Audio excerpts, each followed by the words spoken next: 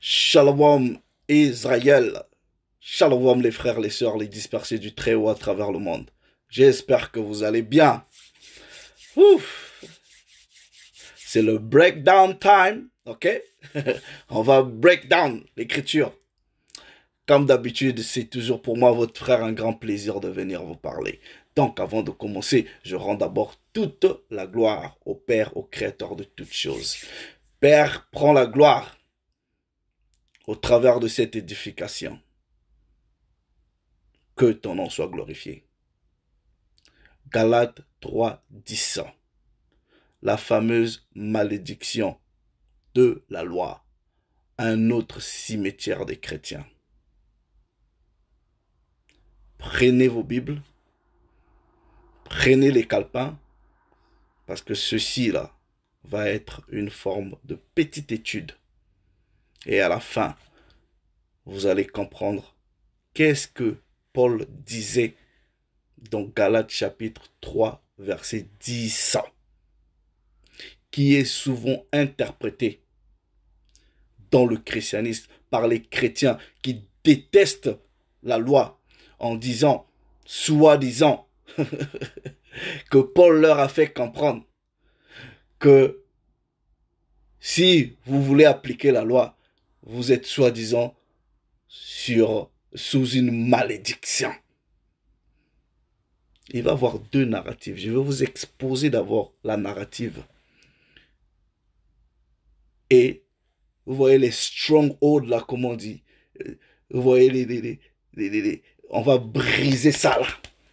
Ces conneries du christianisme là. On va, on va, on va briser ça. Right? Now, regardez ceci nous allons prendre Galates chapitre 3. OK? Ici, je suis dans la version King James française. Galates chapitre 3. Les chrétiens vont prendre ce verset-là, au verset, au verset 10. Ils disent, car tous ceux qui s'attachent aux œuvres de la loi sont sous la malédiction. Frère Allegra, pourquoi vous parlez du Shabbat? On ne doit pas observer le Shabbat. Pourquoi le chrétien, nous sommes des chrétiens, on doit manger tout, on mange le porc, tout est accompli. vous dites tout est accompli. Mais Jésus a tout accompli. Mais Jésus a accompli quoi? Quand le Christ dit tout est accompli. Mais lisez les versets d'après. Qu'est-ce qui était accompli? Ce qui a été dit de lui dans les psaumes, dans les prophètes, il parlait de sa mission. Il venait pour mourir. Quand vous parlez de tout est accompli, vous attendez un fameux retour de Jésus là. Et là, là, il a accompli. Vous espérez, en tout cas, un paradis. Le paradis est accompli. What are you talking about? Keep quiet. Laissez les Écritures aux Israélites de vous expliquer les Écritures. Parce que il nous a été donné de comprendre les mystères des Écritures. Aux autres, là, rien du tout. Et le comble, c'est que la plupart de mes frères qui sont israélites de par le sang reçoivent les instructions des nations des étrangers. C'est pour cela il est de notre devoir de vous ramener à la maison ils prennent ce verset.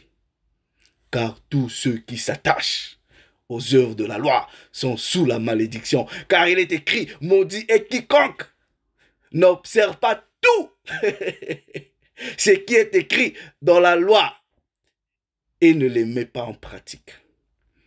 Le chrétien, le, le bon chrétien, va prendre ce verset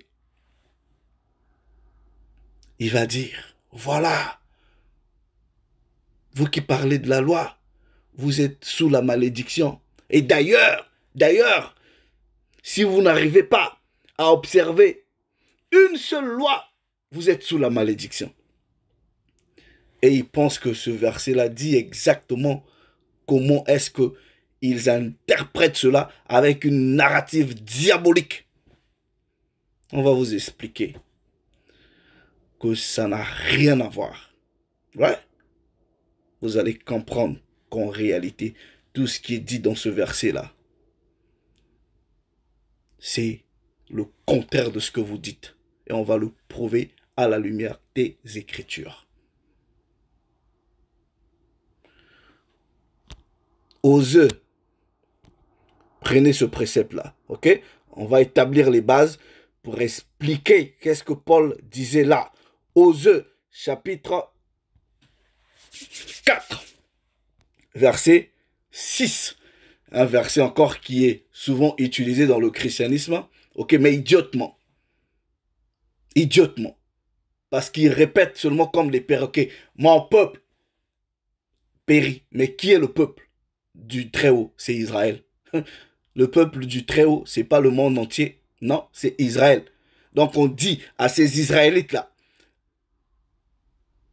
ils sont détruits parce qu'il leur manque la connaissance.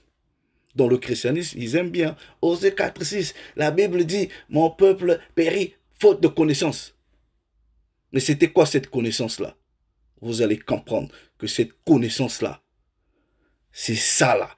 Si vous ne l'avez pas là, vous êtes sous la malédiction. C'est cette connaissance-là qui est la loi. Si vous ne l'appliquez pas, vous êtes sous la malédiction. Et c'est ce que Paul vous disait dans Galates 3, 10.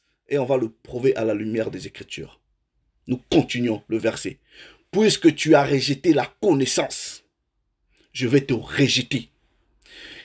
Tu seras dépouillé de mon sacerdoce. Pourquoi? Parce que tu as oublié la loi. Proverbe 19, 2. Le manque de connaissance n'est bon pour personne. C'est quoi cette connaissance? C'est quoi la connaissance selon les Écritures? On va vous prouver cela. Et vous allez nous dire si appliquer la connaissance, appliquer le savoir, qui est la loi, peut mettre quelqu'un sous la malédiction. Malachi va vous prouver c'est quoi cette connaissance. Malachi, chapitre 2, verset 7. Ok? Right car les lèvres du sacrificateur, du prêtre, doivent garder la science, la connaissance. Parce que dans d'autres versions, on va vous dire la science, dans d'autres versions, on va vous dire la connaissance. C'est pour cela, Proverbe dit, Proverbe 19.2, le manque de science, le manque de connaissance. Cette connaissance-là, c'est la loi. Et Israël, son peuple périt parce qu'il lui manque la connaissance de la loi. Car les lèvres du prêtre, du sacrificateur doivent garder la connaissance, la science. Et c'est à sa bouche qu'on demande la loi. Parce qu'il est un envoyé de l'éternel des armées. Cette connaissance-là, c'est la loi.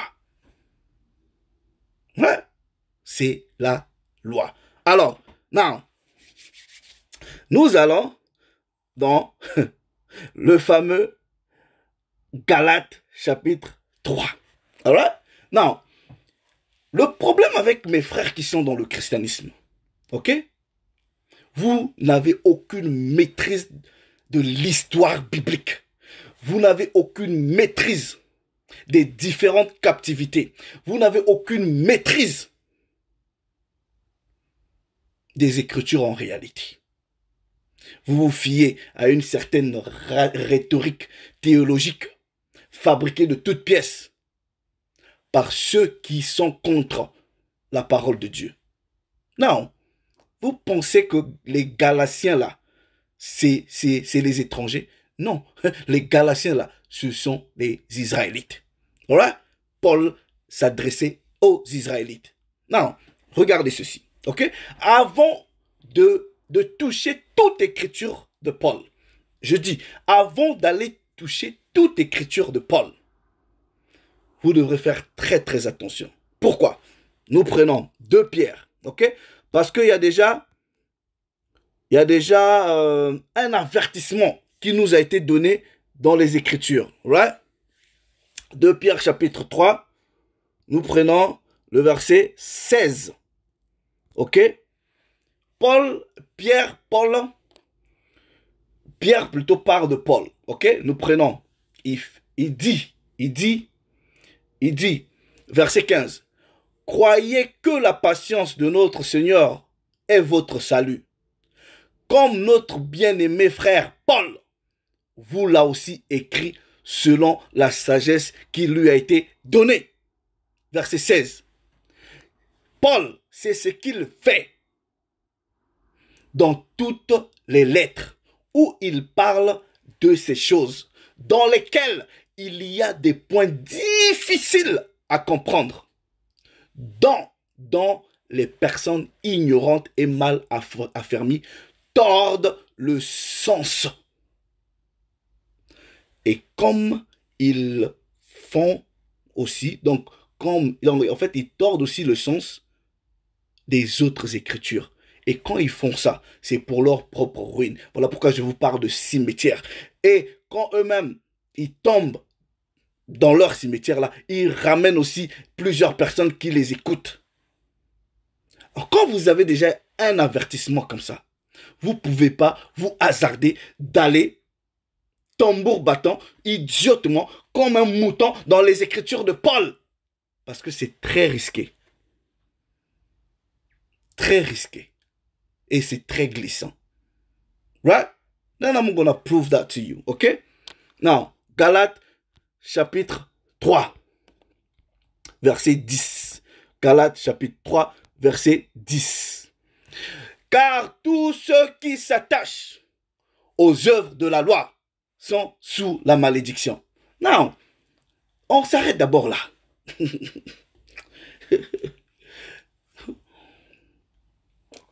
Quand vous êtes un individu, vous interprétez ça, ben voilà, ben, comme quoi vous pouvez plus respecter la loi parce que ça vous met sous la malédiction.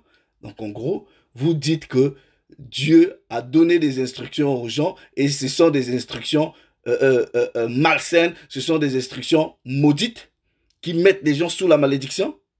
Ouais. Quand vous êtes face à des écritures, Pierre vous donne un avertissement. Il dit, faites attention. Il y a des choses difficiles que Paul écrit. La plupart des gens qui ne sont pas affermis, qui ne sont pas éduqués, qui, qui n'ont pas véritablement étudié et qui n'ont pas l'esprit du Très-Haut, tordent ces choses-là. Et en face des écritures de Paul, vous devrez d'abord appliquer deux méthodes. C'est quoi cette méthode? Cette méthode-là, elle nous est livrée au travers des Écritures. Je vais vous montrer la méthode, ok? Le livre de Néhémie. Voilà. Néhémia, chapitre 8. Regardez la méthode. Quand vous, vous, vous, abordez d'abord euh, une écriture de Paul, ok? Voilà. Ce que vous devrez faire, c'est de vous rappeler de Néhémie, chapitre 8, verset 8.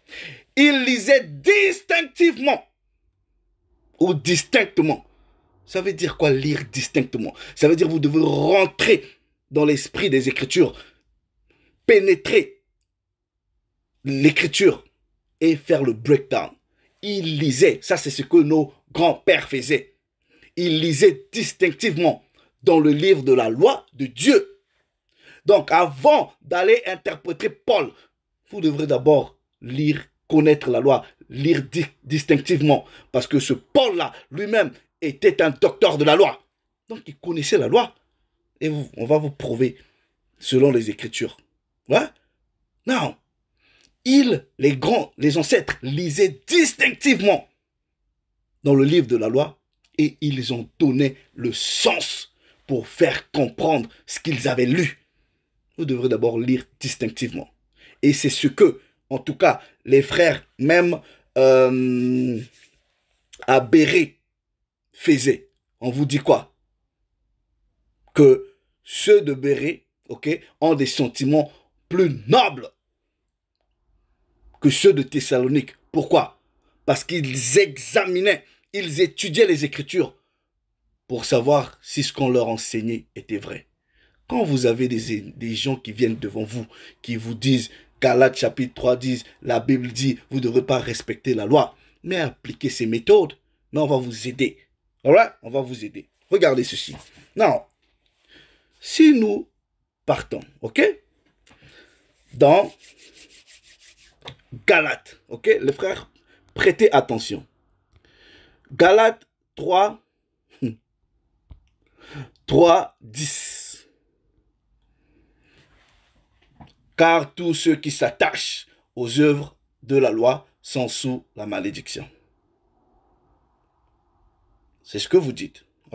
Donc en gros, en gros, ce, que, ce que eux disent de Paul, comment est-ce que c'est traduit dans leur Bible, comment est-ce qu'il y a une narrative dans le christianisme, en gros, ben, donc ça sert à rien. Et ils disent, oui, mais il est impossible à un homme de, de pratiquer toutes les lois. Mais qui vous avait dit, montrez-moi un seul verset où, quand Dieu donne la loi, il a dit, mais un seul individu ne peut pas pratiquer toutes les lois. C'est impossible. Vous savez pourquoi? Parce que toutes les lois ne s'appliquent pas à tout le monde. Il y a des lois qui ne s'appliquent que pour des femmes. Il y a des lois qui ne s'appliquent que pour des prêtres. Donc en gros, si vous n'êtes pas une femme, vous ne pouvez pas prévaloir de la pratique totale de la loi, puisqu'il y a des lois exclusives aux femmes. Si vous n'êtes pas un prêtre, vous pouvez pas. Mais what are you talking about? Les lois qui sont applicables à toi étant qu'un individu, tu y as la capacité de les appliquer. Pourquoi? Parce que le Très-Haut dit, ces lois ne sont pas pénibles. Ça, c'est, je pense, dans un Jean. Alright? Non, regardez ceci, regardez. Donc, acceptons, acceptons, ok, que Paul ici est en train de vous dire qu'en réalité, si vous vous attachez aux œuvres de la loi, vous êtes sous la malédiction. Ok, on va vous l'accorder. On vous, on vous donne ça là. Un petit point, mais on va le retirer. Ok? Venez alors nous expliquer Romains. Ça, c'est la même personne. Hein? Ok? Romains, chapitre 3. Ok? Verset 31. Ok? La même personne qui vous dit, selon votre compréhension, que si vous vous mettez à observer la loi, vous êtes sous la malédiction, ou encore, si vous, si vous n'arrivez pas à observer toutes les lois, vous êtes sous la malédiction. Ça n'existe pas. Ça, ça. Il n'y a aucun verset dans la Torah où on dit à un individu d'observer toutes les lois. C'est pas possible parce que les lois dépendent des gens. Non. Ce même Paul-là, le petit point que je vais vous donner, je vais le retirer ici. Romains chapitre 3, verset 31. Anéantissons-nous donc la loi par la foi Loin de là. Au contraire, nous confirmons la loi. Attendez. Si c'est la même personne qui vous dit que si vous vous mettez sous la loi, vous êtes sur la malédiction, il vient encore, il dit que vous confirmez la loi. Non. Avant même qu'on parle de Paul, avant même qu'on parle de Paul lui-même,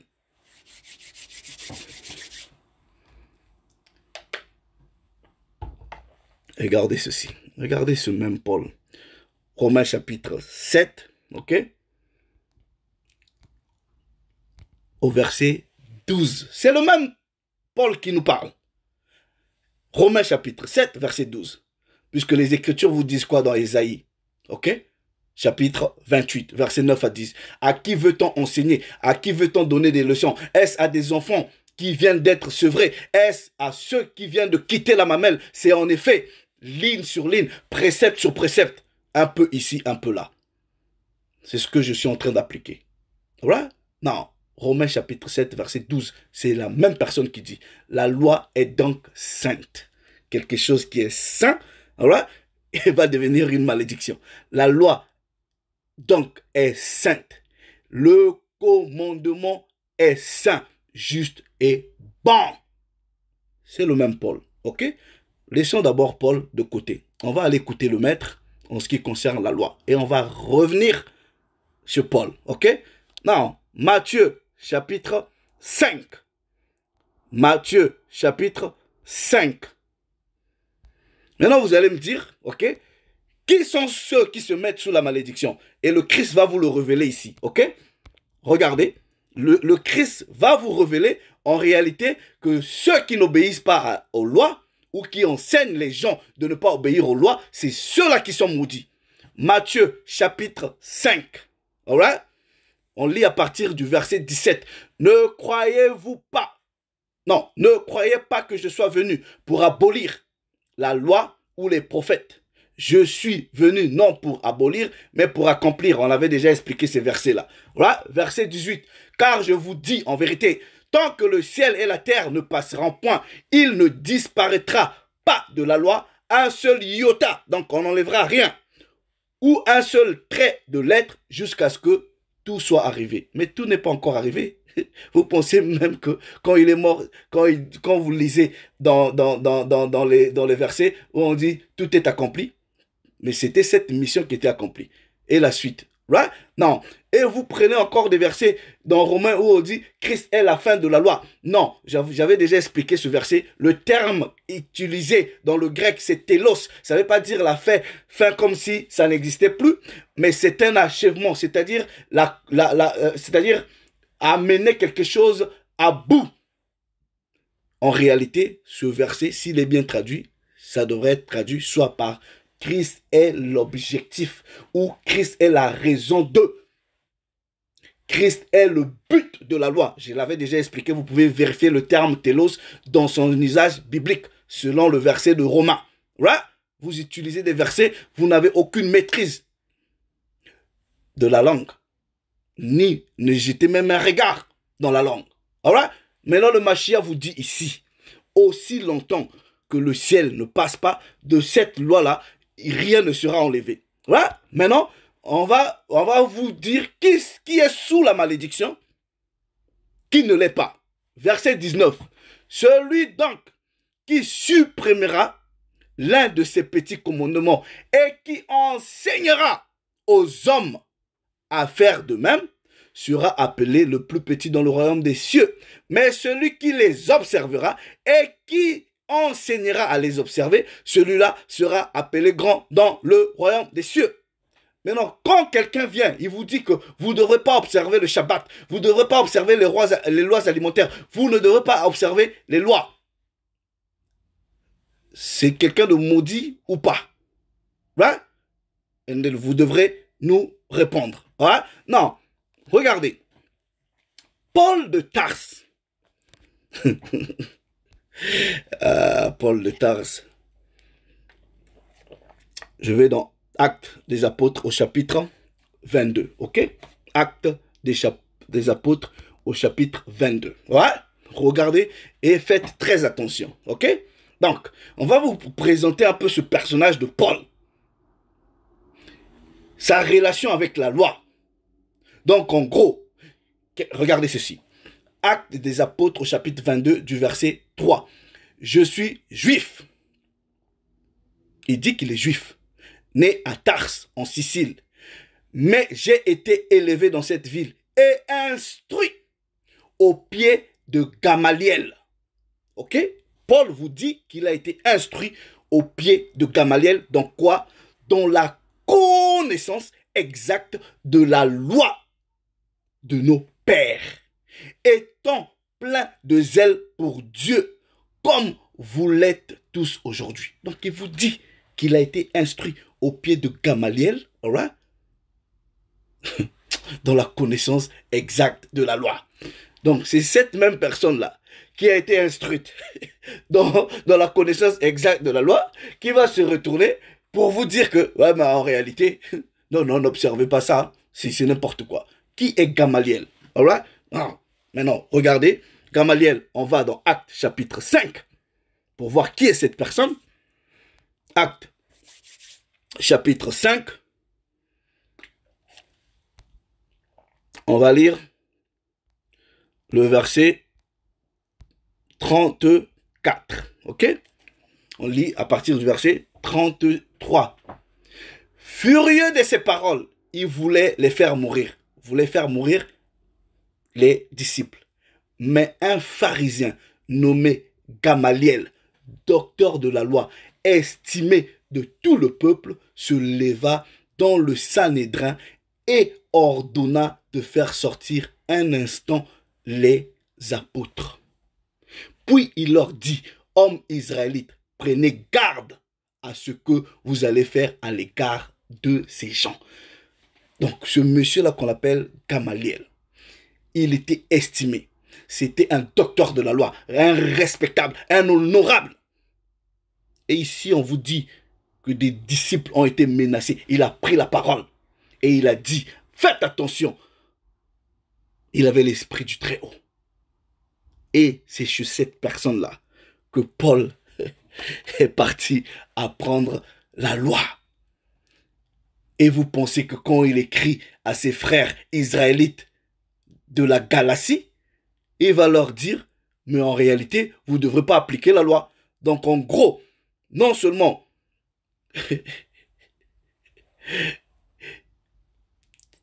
il met un coup de marteau sur le Christ, il met un coup de marteau sur son maître.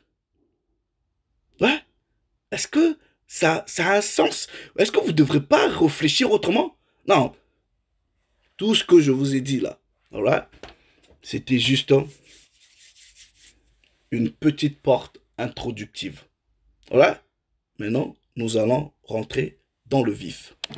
Galates, chapitre 3. Galates, chapitre 3, verset 10. OK? Prenez toutes les versions que vous voulez. OK? Toutes les versions qui traduisent, qui traduisent. OK? Dans le sens de vous dire que si vous appliquez les œuvres de la loi, vous êtes sous la malédiction. Ou si une version vous dit que si vous n'appliquez pas tout ce qui est écrit dans la loi, vous êtes sous la malédiction. Ce sont des versions mal traduites, en tout cas par rapport à ce verset. Pourquoi? Regardez ceci. Regardez. On prend juste cette version King James française. Car tous ceux qui s'attachent aux œuvres de la loi sont sous la malédiction. OK? Alors, prenez le texte grec. OK? Vous allez comprendre que dans le texte grec, non seulement le verbe s'attacher n'y est pas, et aussi le mot ou sous n'y est pas. Ça n'existe pas dans le texte grec. Donc, quand vous prenez le même texte grec, vous faites une traduction, ok, littérale, vous allez voir que ça traduit différemment par rapport à ce qui est ressorti communément dans les Bibles. Voilà. Maintenant, prenons ce verset. Nous allons analyser ce verset dans le fond, précepte sur précepte, ligne sur ligne. Voilà. Non. Admettons, ok, admettons le verset dit, car tous ceux qui s'attachent aux œuvres de la loi sont sous la malédiction. Car il est écrit. Donc, quand on fait une quotation, une citation, ok Il dit, car il est écrit, maudit est quiconque n'observe pas tout ce qui est écrit dans la loi. Ça veut dire quoi? Ça veut dire quand on fait une citation, c'est qu'on doit aller dans la citation pour voir quelle est la première idée, parce qu'il est en train de, citer quelque chose. Maintenant, nous allons aller, puisque dit, il est écrit. Il est écrit où? Certainement dans la loi ou dans les prophètes. Parce qu'à l'époque où il parle aux, aux, Galatiens, il n'y a, a, que le livre de la loi. Donc nous allons aller soit dans, dans la loi, soit dans les prophètes, pour voir si dans les prophètes ou dans la loi, apparemment on dit Si vous vous attachez aux œuvres de la loi, vous êtes sous la malédiction. OK? Ou encore, si la loi nous dit, si vous ne respectez pas toutes les œuvres écrites dans la loi, vous êtes sous la malédiction. Puisque Paul nous dit ici, car il est écrit. Il est écrit où? Soit dans la loi, soit dans les prophètes. Mais je vais d'abord dans la loi, et je vais d'abord dans les prophètes, et je vais aller dans la loi, d'où Paul a tiré cette citation. En, fait, il est en train de résumer une pensée en fonction de la loi. Or, en citant la loi, si nous voulons accepter l'idée selon laquelle Paul véhiculait, selon Galates 3.10, un message contre la loi, c'est ce que la loi doit nous illustrer. Pour ce faire, je vais d'abord dans le livre de Jérémie, au chapitre 11. OK? Puisque la parole dit ligne sur ligne, précepte sur précepte, un peu ici, un peu là. On prend d'abord le prophète avant d'aller dans la loi. Jérémie chapitre 11. OK? Et ici, je veux vous prouver que non seulement l'idée de respecter toute la totalité n'est pas illustrée dans la loi, tout simplement parce que les lois sont aussi spécifiques à des individus. Si je ne suis pas prêtre, je ne peux pas respecter toutes les lois, puisqu'il y a des lois spécifiques aux prêtres. Si je ne suis pas une femme, parce que, par exemple, je prends les lois de, femmes, par exemple, il y a des lois euh, de purification des, femmes, moi je suis un homme, mais c'est écrit dans la loi. Est-ce que vous allez demander à un homme d'appliquer une loi qui est spécifique à une femme? Non, ça n'existe pas. Cette notion d'appliquer toute la loi, ça n'existe pas. Vous n'appliquez que ce qui est à votre niveau possible. Vous êtes un homme, voilà, si vous n'êtes pas un prêtre, vous appliquez les lois qui sont données aux hommes normaux d'appliquer. Ouais, non, regardez ceci. Jérémie chapitre 11, ok? Jérémie chapitre 11, les frères, j'espère que vous prenez les préceptes. Je lis à partir du verset premier. La parole du Très-Haut fut adressée à Jérémie de la part de l'Éternel en ces mots. Écoute les paroles de cette alliance de cette alliance. Et parler aux hommes de Juda et aux habitants de Jérusalem, faisant allusion en tout cas aux deux maisons d'Israël, la maison de Juda et la maison d'Israël, le royaume du sud ou le royaume du nord.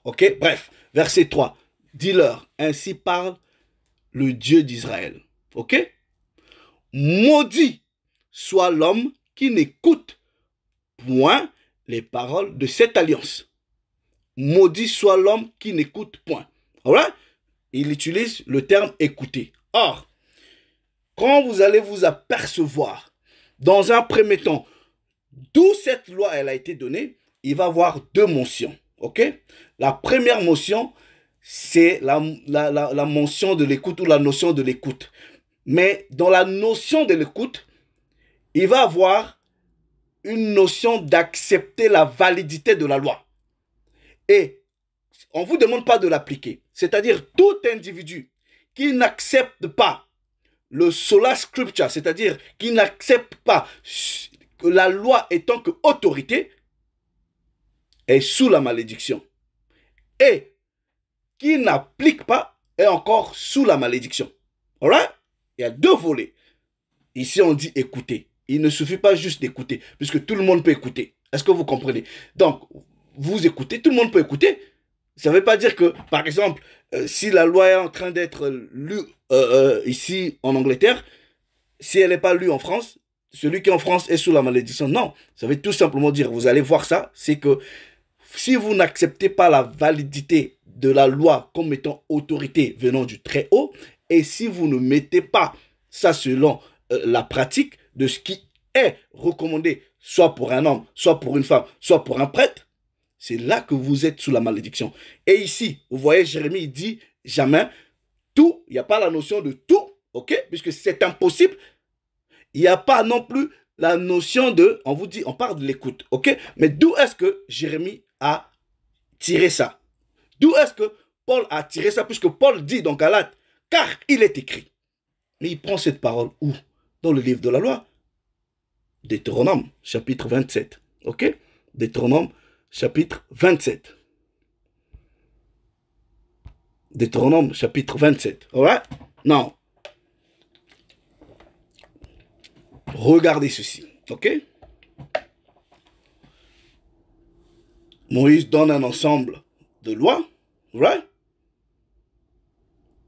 Et à la fin, au verset 26, il dit Maudit soit celui qui n'accomplit pas les paroles. OK?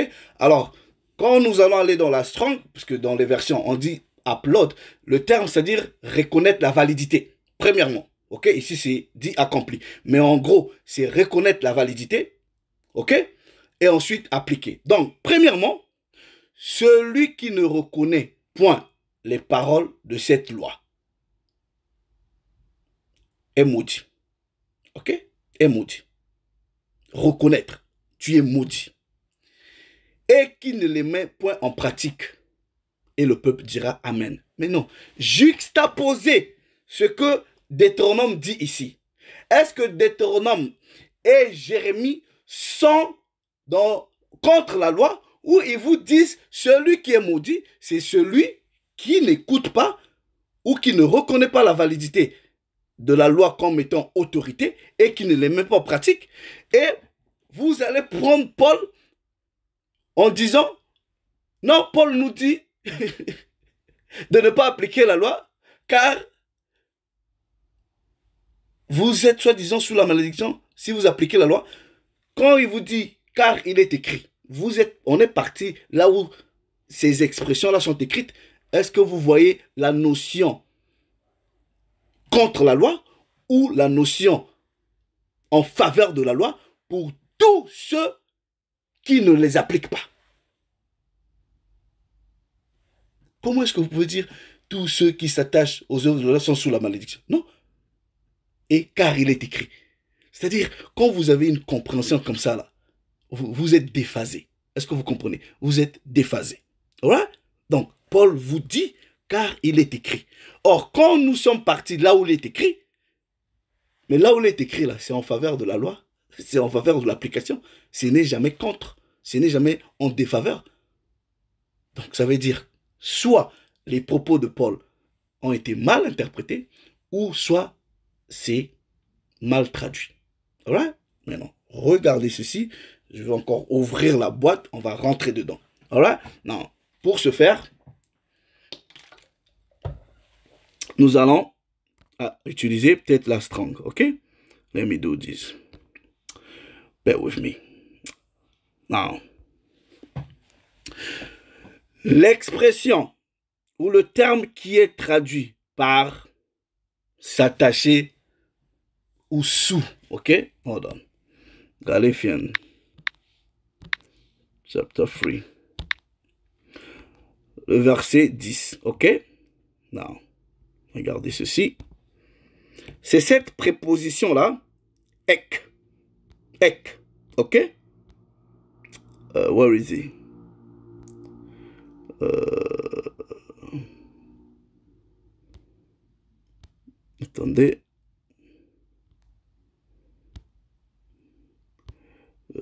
c'est une préposition. Or, c'est cette proposition-là, en fait, elle est mal traduite. Et, en tout cas, les traducteurs ajoutent le verbe s'attacher. Non, attendez. Where is it? Right. OK? Strong's G 1537. Ek. Ek.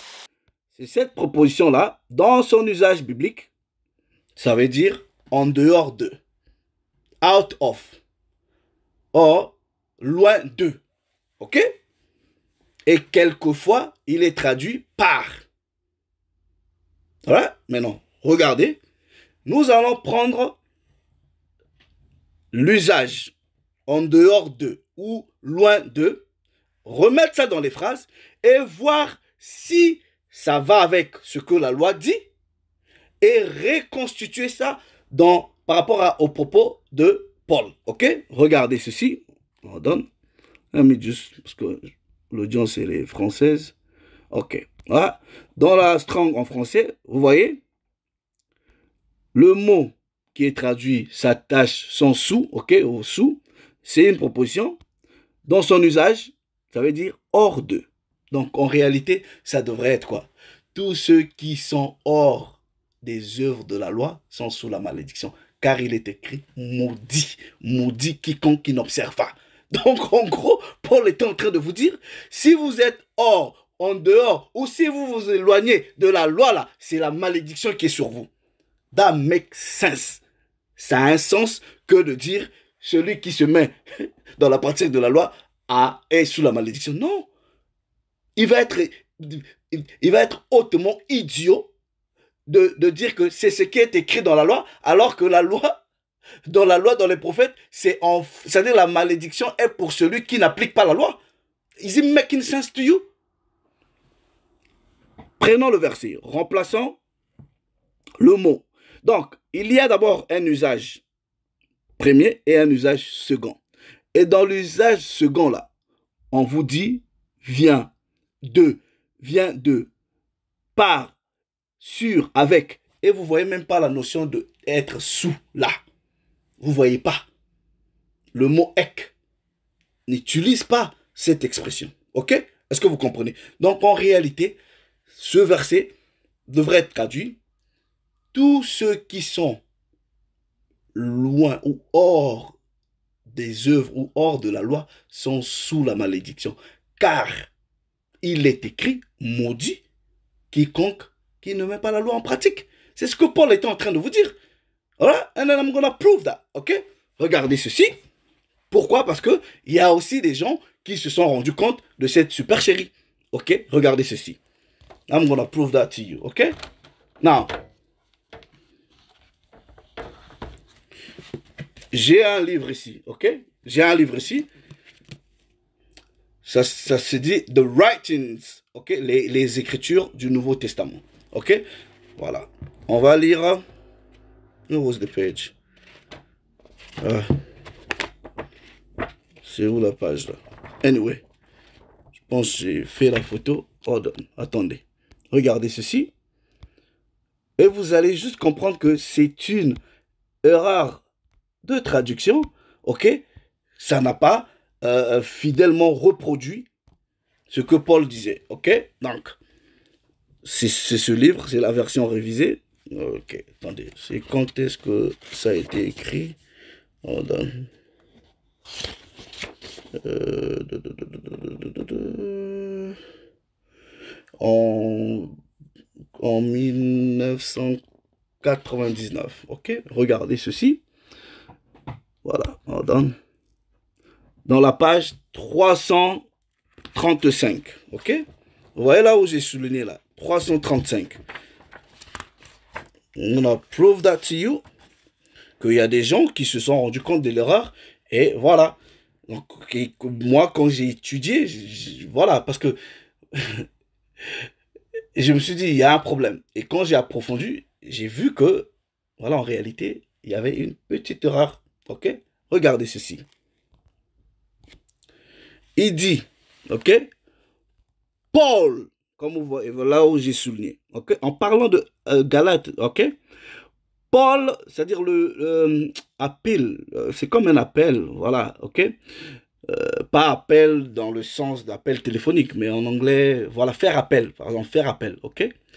On dit, Paul, le deuxième appel ou deuxième recours aux Écritures, ok? Et ils ont mis entre parenthèses Galates 3, de 3 à 10. On dit, c'est-à-dire le deuxième appel de Paul aux Écritures, Galates 3, 10 à 1, constitue, ok, une étude très bien structurée de la Torah, ok?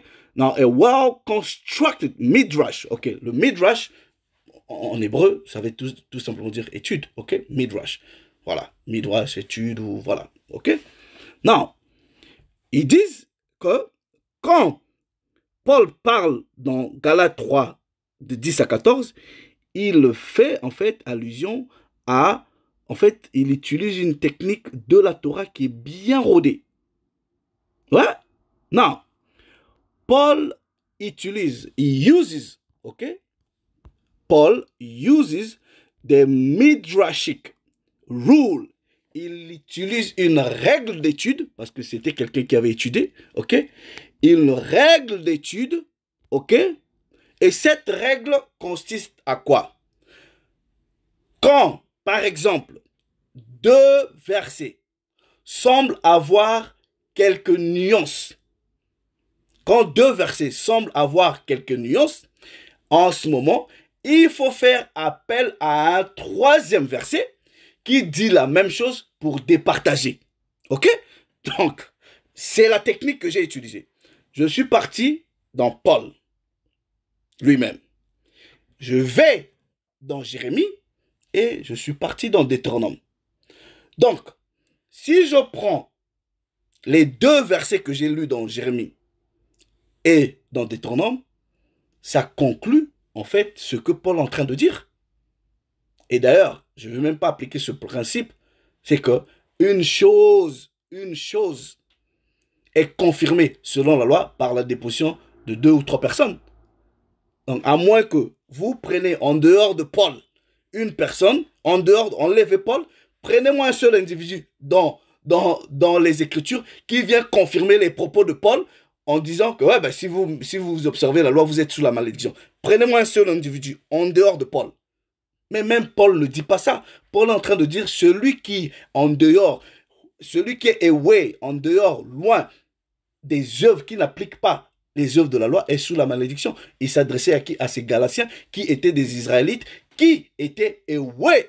C'est pour cela, quand il parle dans Éphésiens, il, parle aux Éphésiens, il leur dit quoi? Est-ce que vous ne vous souvenez pas quand vous étiez en dehors, en anglais on dit le Commonwealth of Israel, quand vous étiez en dehors de la société d'Israël, loin des alliances, parce que vous maîtrisez, vous connaissez pas la loi. C'est une pensée linéaire qui s'ensuit dans toute la Bible. Regardez ceci, ok? Non, il dit, Paul uses the, the Midrashic rule that when two texts of the scripture contradict each other. Donc, il dit, Paul utilise une technique didactique ou une technique d'étude. Quand deux versets semblent, être, semblent avoir des nuances, c'est un troisième auquel on fait appel pour résoudre le problème. OK? A third text can resolve them. Now, regardez. Ici, en parlant de à Galates chapitre 3, ici, we see that the prophet Habakkuk.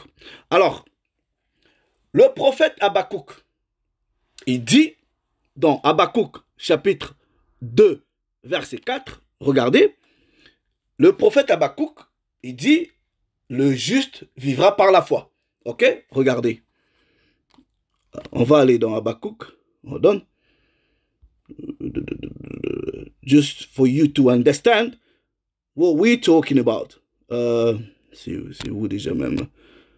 On. Uh, da, da, ok. Habakkuk. Habakkuk 2, 4. Right.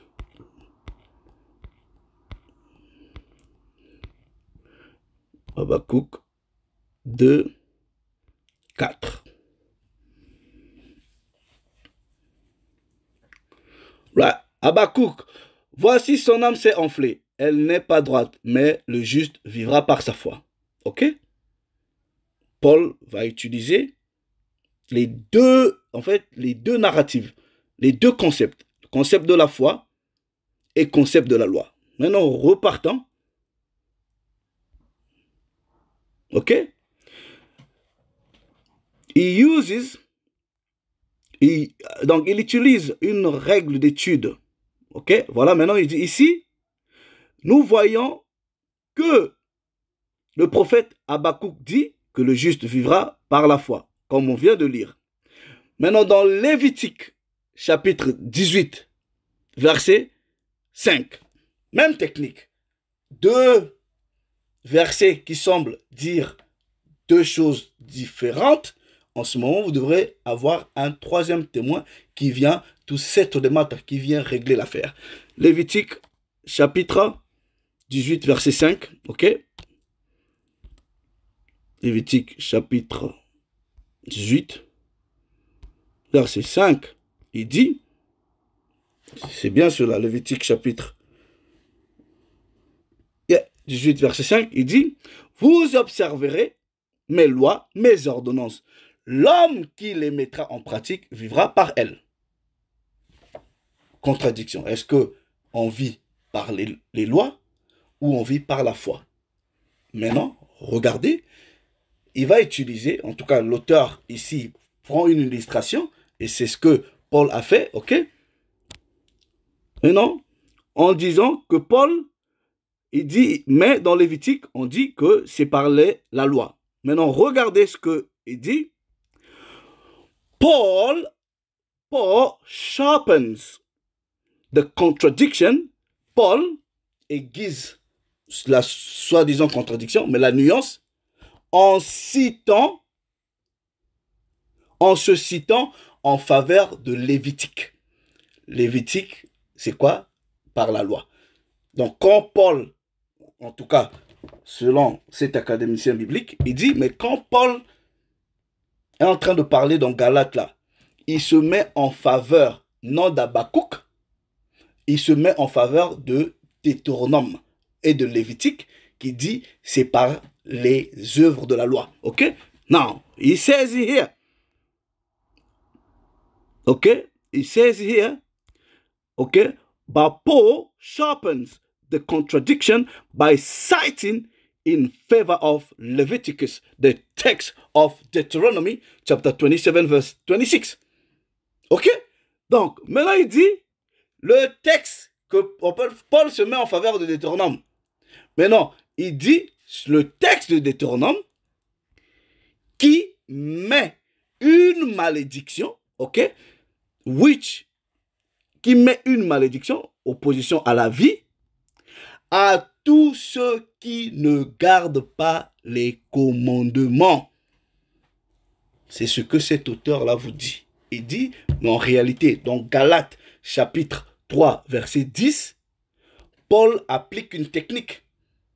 De la même façon, quand vous prenez Habakkuk et Lévitique, vous semblez avoir la différence. On vous dit, mais quand Paul parle dans Galates, là, il est en faveur du texte de Deutéronome chapitre 27, verset 28. C'est pour cela, il cite ce texte en disant, car il est écrit,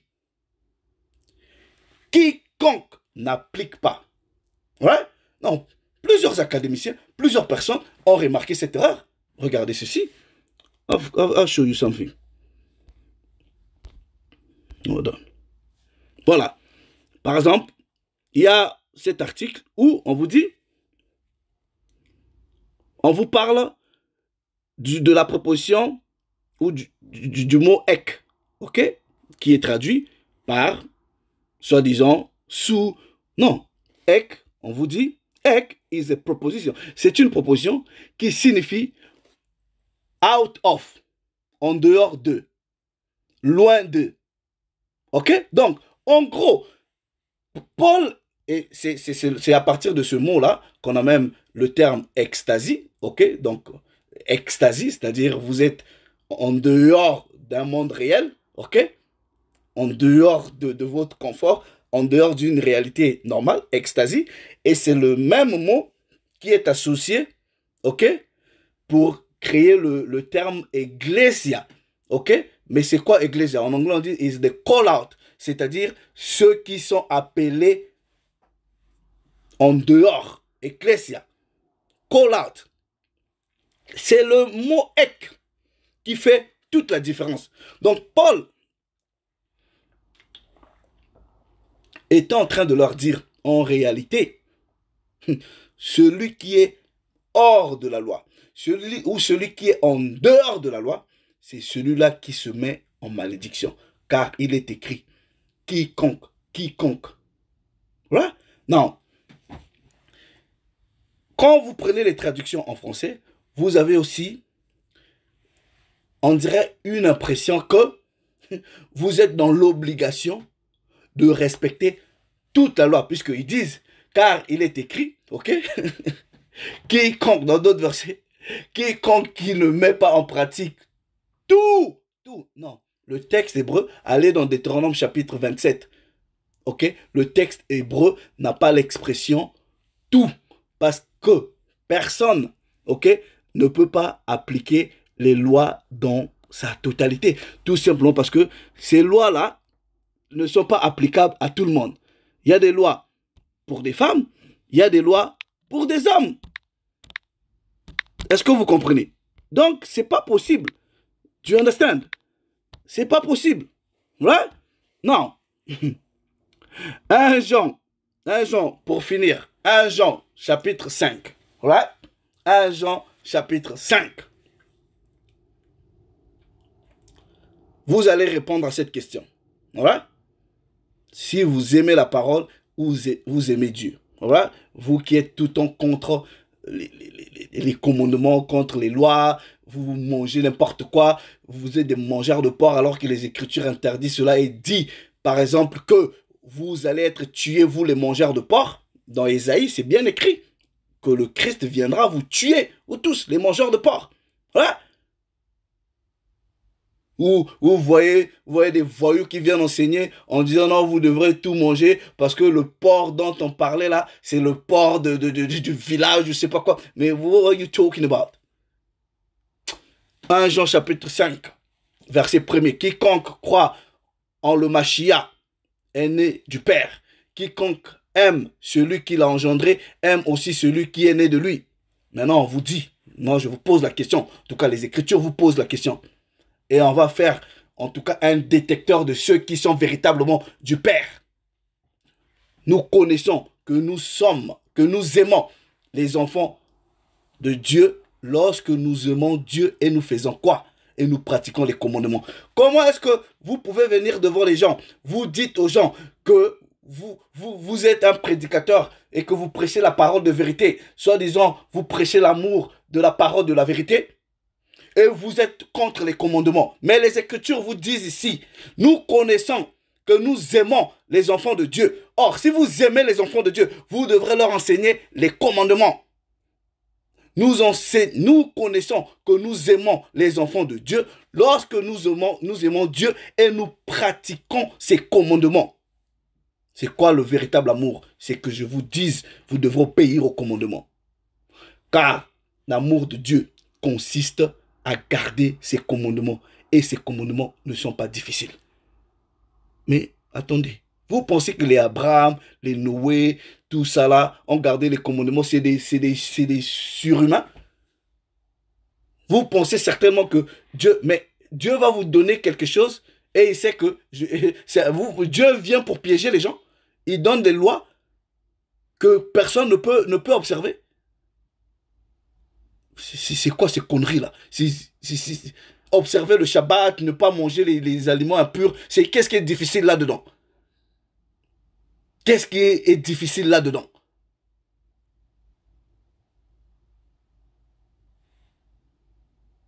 You, you tell me, maintenant. Il va se poser un problème.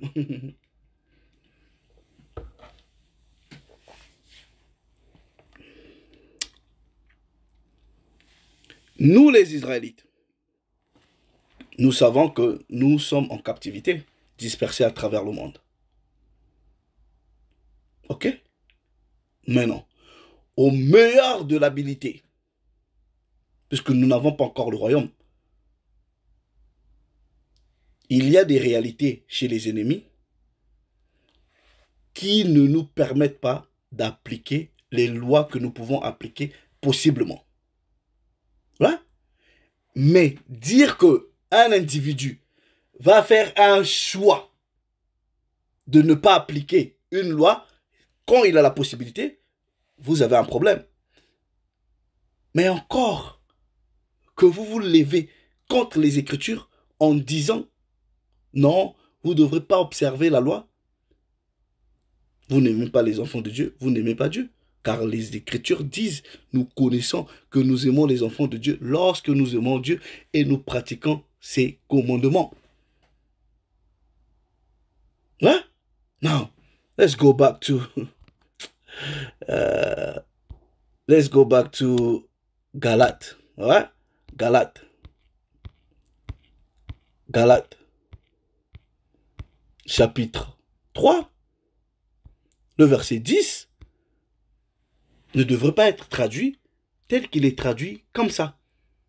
Puisque l'idée dans la loi, dans les prophètes, c'est la punition ou l'absence de vie, pour ne pas dire malédiction, ok, est pour celui qui ne respecte pas la loi et non pour celui qui respecte la loi. Donc en réalité, ici, là, vous qui venez pour dire que Paul, dans Galates chapitre 3, verset 10, vous dit de ne pas respecter la loi, vous avez été victime de ce que Pierre dénonce. Vous êtes mal affermi et vous tordez le sens des Écritures de Paul. Là, c'est. Donc, Dans Galates chapitre 3 verset 10, on a, dans un premier niveau, faites une recherche sur les manuscrits, vous allez voir que, en réalité, le texte grec dit tout le contraire de ce qui ressort des autres textes. Il dit tout le contraire.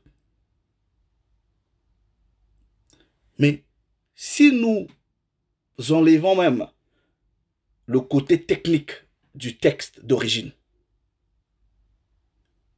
mais ça posera un problème que quelqu'un qui a été enseigné à la connaissance exacte de la loi par quelqu'un de très respectable, ouais, et qui viennent, qui disent, le Christ lui-même dit, la loi continue les commandements, les prophètes, et lui vient. il vous dit non, oubliez tout ça. Non, non, faites pas ça. Faites ce que je vous dis. Bon, même, mais admettons même, admettons que Paul vous a dit, moi j'ai montré-moi un seul verset où Paul vous dit, hey, thou shall not obey the commandment. Montrez-moi un seul verset où Paul vous dit clairement, ben écoutez, ben Moïse là, vous voyez les Shabbats là, oubliez ça, c'est n'importe quoi, mangez ce que vous voulez. Parce que toute la narrative contre la loi, moi je vous dis, selon mon appréciation, si vous voulez dire quelque chose contre la loi, Paul est la, la, mauvaise personne que vous pouvez utiliser pour aller dire des choses contre la loi. C'est la mauvaise personne que vous pouvez utiliser. Parce qu'il va vous jouer des tours. Vous devrez être très affermi. Alors, mais même si, admettons, ok Je vous ai déjà retiré le point. Je vous donner encore un autre point. Un petit point cadeau. Même si Paul était soi-disant contre la loi ou contre Moïse. Voilà. Il est où son autre support dans les Écritures? Parce que je peux prendre des, des, milliers de versets dans les Écritures où on vous dit c'est la loi, la loi, la loi, la loi. Vous, vous, avez, vous avez combien d'autres témoins qui peuvent venir témoigner en faveur de Paul? Qui? Qui peut venir? Prenez Jean, prenez Matthieu, prenez Jérémie. Qui peut venir? Voilà. Qui peut venir dire Ah, voilà, je suis. Voici une écriture qui, qui, qui est en faveur de ce que Paul dit. Vous, vous avez ces écritures? Si vous en avez, déposé-les. Ouais Donc, une préposition qui est mal traduite, vous créez une narrative contre la loi, mais la même personne vous dit, mais est-ce que c'est à cause de la grâce? Non, on établit la loi. Mais le Christ vous dit, jusqu'à ce que le ciel, mais le ciel est passé, la terre est passée. Est-ce qu'on a, a, le, a le royaume? On vit sous la domination des nations What are you talking about? Donc, en gros, Paul vous dit ici, là, tous ceux qui sont en dehors de la loi sont sous la malédiction. Tous ceux qui sont hors de la loi sont sous la malédiction. Tous ceux qui se sont removed, qui se sont extirpés de la loi. Parce que c'est ça le sens, en tout cas les sens premiers de cette proposition ek, sont sous la malédiction et non tous ceux qui appliquent les lois sont sous la malédiction. It does not make any sense. Right? It doesn't make any sense. Mon frère, applique la loi. Applique les commandements. Vous, moi j'ai toujours dit aux gens, ok, vous, vous êtes contre la loi, tout ça là. Il n'y a pas de problème. Mais venez, venez nous donner vos femmes on va les prendre comme deuxième femme, tout ça là. Ça va vous poser un problème? Mais puisqu'il n'y a plus de, plus de loi, vous allez nous accuser de quoi? Hein? Venez, donnez, donnez, donnez. Nous, on va prendre. C'est quoi ces conneries là? C'est quoi ces conneries là? Vous ne devez plus observer. C'est quoi ces conneries là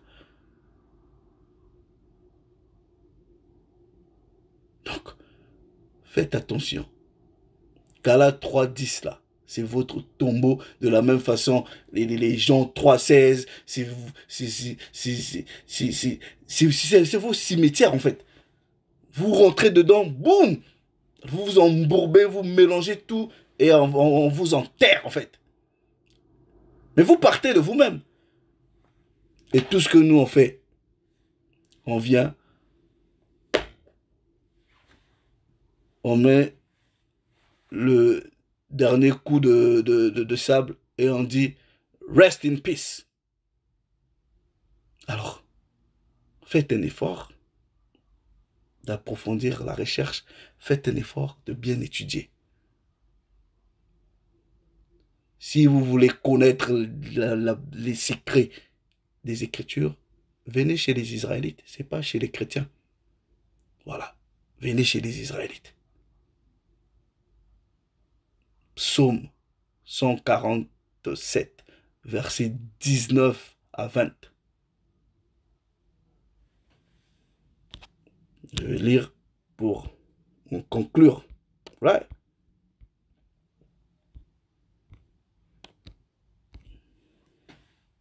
Il révèle sa parole à Jacob.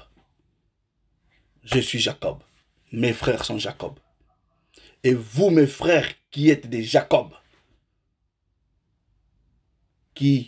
sont sous l'influence, sous la drogue des Édomites, de la religion des Édomites,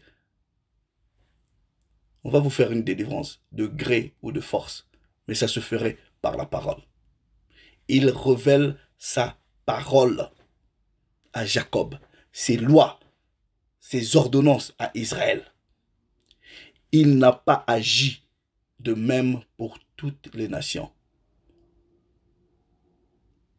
Et elles ne connaissent point ses ordonnances. Loué soit le Très-Haut. Oh, praise be to the Most High, our power. Shalom.